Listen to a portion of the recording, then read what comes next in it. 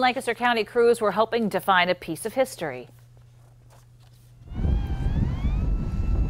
Rettew Engineering was searching for a time capsule buried at the former Hambright Elementary School, and they used this electric, electromagnetic and ground penetrating radar to find the capsule, which was buried 54 years ago.